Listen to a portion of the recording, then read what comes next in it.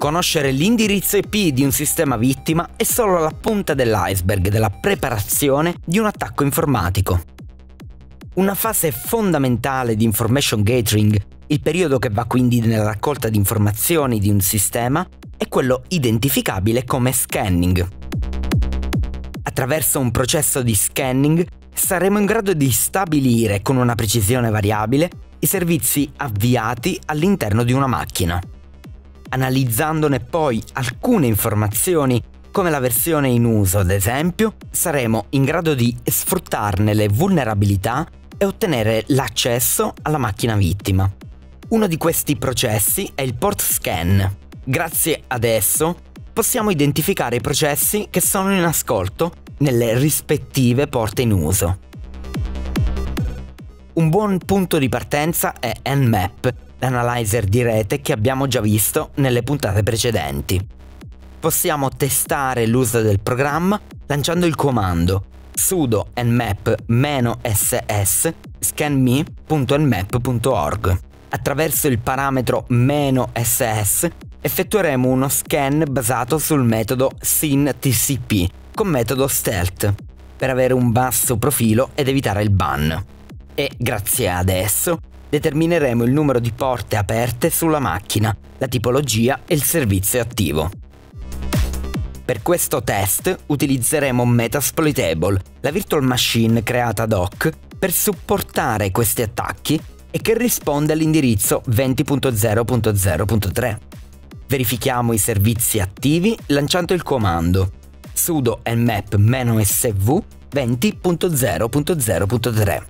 Questa volta abbiamo usato "-sv", che indica al programma di trovare non solo i servizi, ma anche la loro versione. Vedremo poi a cosa serviranno. Nmap è in grado anche di determinare il sistema operativo in uso presso la macchina. Il comando da lanciare questa volta è sudo nmap-o 20.0.0.3 troveremo alla fine del report una stima sul sistema operativo in uso e l'eventuale percentuale di accuratezza. Dato che il nostro corso è rivolto a chi vuole imparare la sicurezza nel campo del World Wide Web, potrebbe risultare comodo estrapolare anche il tipo di web server in uso.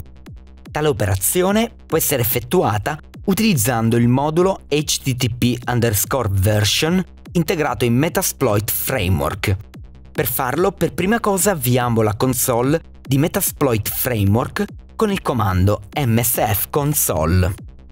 Andiamo ora ad attivare il modulo con il comando use auxiliary scanner http underscore version. Impostiamo l'indirizzo IP della macchina vittima tramite il comando set rhost 20.0.0.3. Quindi avviamo il modulo con il comando run. Qualche istante e otterremo il tipo e la versione del web server in uso. La stessa operazione può essere effettuata con il DBMS in uso. Il DBMS è il programma che si occupa di gestire i database relazionali dell'app, in questo caso MySQL. Anche in questo caso è presente un modulo in Metasploit Framework, quindi dopo aver lanciato MSF Console, selezioniamo il modulo corretto. Use Auxiliary Scanner MySQL MySQL underscore version. Reimpostiamo il target con il comando set rhost 20.0.0.3 e lanciamo il modulo con il comando run approfondiremo l'argomentazione sull'estrazione delle informazioni del DBMS nelle prossime puntate dell'Hacklog.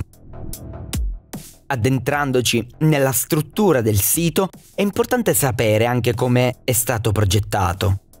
Per determinare un CMS esiste un programma chiamato WhatWeb che permette di confrontare la struttura dei file, le informazioni presenti nei codici sorgenti e altri dati che i CMS sono soliti rilasciare in chiaro.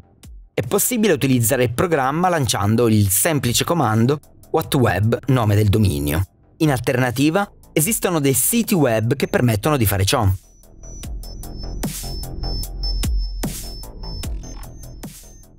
Determinare invece il linguaggio di programmazione può risultare ostico, specie se viene effettuato un nerd coding delle URL per motivi di ottimizzazione dei motori di ricerca. Semplificando il concetto, potrebbe essere possibile estrarre il linguaggio attraverso l'estensione della pagina visitata. Se questa conclude con .php, il linguaggio utilizzato sarà PHP, .asp per il linguaggio ASP e così via.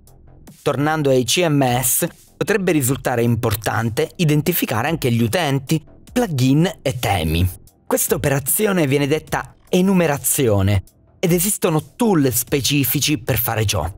In questa puntata vedremo come enumerare una piattaforma WordPress, tralasciando le piattaforme Joomla e Drupal, che invece potete approfondire nel nostro Hacklog volume 2.